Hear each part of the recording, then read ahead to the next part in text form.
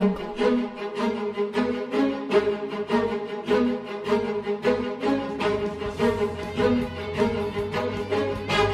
Hola amigos, bienvenidos a un video más. Antes de comenzar, suscríbete a este tu canal Gol México. La selección mexicana femenil sigue con paso firme en la Copa Oro luego de la fase de grupos, ronda en la que el equipo dirigido por Pedro López fue líder del grupo A con 7 puntos. El combinado nacional se va a medir a Paraguay en la instancia de cuartos de final. El balance de partidos entre México y Paraguay en la categoría femenil es bueno para el combinado dirigido por Pedro López, pues ambos conjuntos se han enfrentado en cuatro ocasiones, arrojando tres triunfos para la selección azteca y una victoria para el equipo sudamericano. Y crack, entre los otros enfrentamientos en la ronda de cuartos de final, Canadá se va a medir ante Costa Rica, Brasil tiene como rival Argentina y Estados Unidos contra Colombia. Bueno amigos, ante ello, periodistas colombianos mencionan que deben copiar a México ya que le ganó a Estados Unidos por 2 a 0. Escuchemos. Eh, Juliana, mm. hacemos una reflexión. México le ganó a Estados Unidos.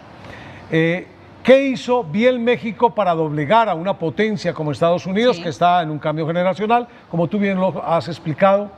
¿Qué, ¿Qué debemos nosotros copiar, anexar, emular de lo que hizo México y qué no debemos hacer de lo que hicimos ante Brasil?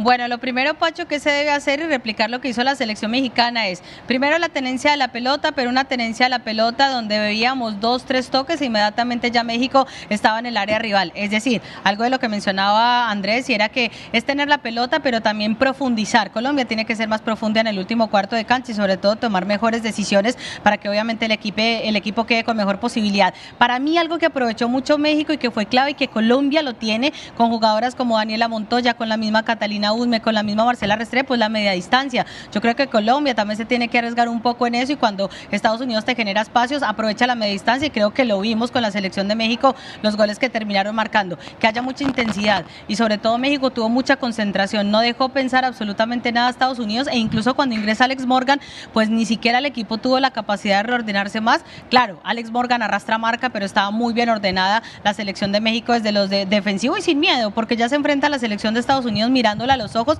y yo creo que eso tiene que hacer Colombia. Estamos de malas, nos tocó la llave más dura. Estados Unidos es potencia y segundo es el local. Pero México enseñó un camino, porque México... No son invencibles. México aprovechó eh, que esta es una selección norteamericana y pues, obviamente hay que mirarla con respeto, una potencia, pero que por su cambio generacional dio algunas ventajas y México las aprovechó. Crack, el partido será este domingo 3 de marzo, en donde México y Paraguay se verán las caras para buscar el boleto a la ronda de semifinales de la Copa Oro Femenil. El juego se va a disputar a las 16 horas, tiempo de la Ciudad de México. Bueno amigos, hasta aquí el video. No te olvides comentar y suscribirte a este tu canal Gol México y así te mantendremos informados más, hasta un próximo video.